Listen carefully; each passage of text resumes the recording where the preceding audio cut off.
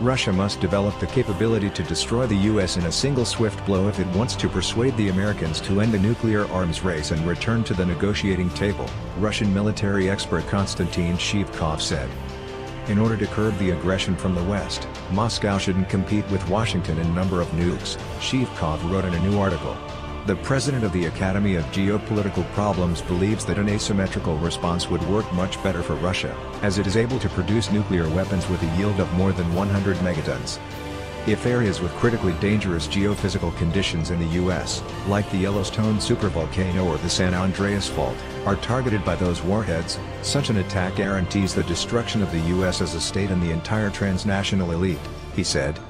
The production of around 40 or 50 such mega warheads for ICBMs or extra long-range torpedoes would make sure that at least a few of them reach their target no matter how a nuclear conflict between the US and Russia develops, the expert said. Such scenario again makes a large-scale nuclear war irrational and reduces the chances of its breakout to zero, Sivkov said. The possession of such weapons by Russia is what would finally make Washington start talking to Moscow and give up on its sanctions policy towards Russia, the expert said. On Monday, U.S. President Donald Trump warned Russia and China that Washington intends to build up its nuclear arsenal until people come to their senses. Trump reiterated his commitment to unilaterally abandon the landmark Intermediate Nuclear Forces in Europe INF, treaty, saying that Russia has not adhered to the agreement, neither in form or in spirit.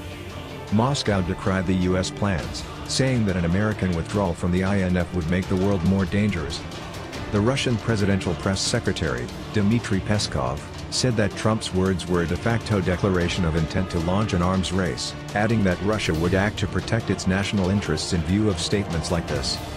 In recent years, Moscow and Washington have repeatedly accused each other of violating the 1988 INF deal. While the US has alleged that Russia has developed missiles prohibited by the treaty, Russia insists that the American anti-missile systems deployed in Eastern Europe can actually be used to launch intermediate-range cruise missiles.